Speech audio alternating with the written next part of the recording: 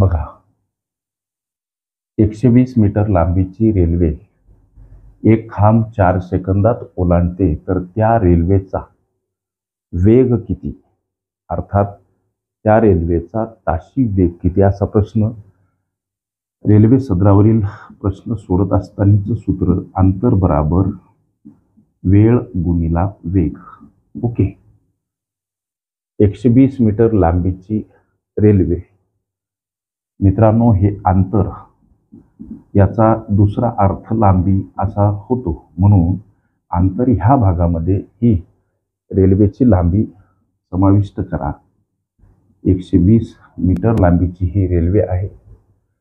आणि या रेल्वेला एक खांब ओलांडण्यास चार सेकंद लागतात. हा वेळ वेळेच्या ठिकाणी दर्शवा.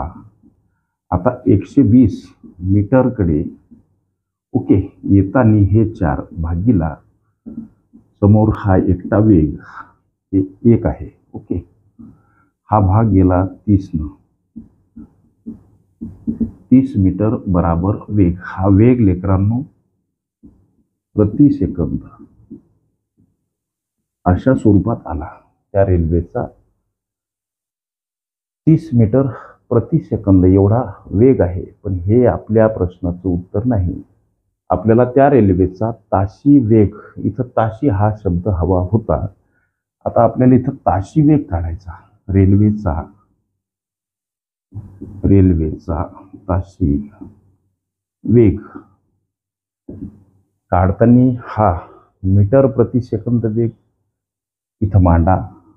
ही रेल्वे तीस मीटर प्रति सेकंद या वेगानं धावते.